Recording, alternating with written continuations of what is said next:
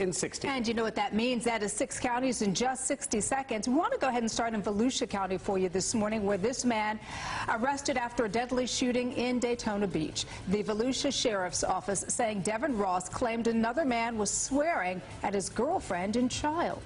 In Orange County, a hit-and-run victim's family is begging for answers. They say that Jessica Esteras was on a walk when she was hit by a car. Troopers say the driver has not come forward. Alachua County now, deadly shooting, and the suspect is still at large there. Deputies say one person was shot in the Holly Heights neighborhood. No word yet on who may have pulled the trigger. Brevard County now, Melbourne police nabbed two suspects who they say may be behind a string of vehicle break-ins. Police say they found the pair pulling on door handles. In Polk County, the fire marshal investigating the cause of these flames in Mulberry. Firefighters saying they broke out at an abandoned vehicle repair shop on Sunday. The good news here is that nobody was hurt. And in Somerville County, Girl Scout leaders plan to rebuild a burned campsite.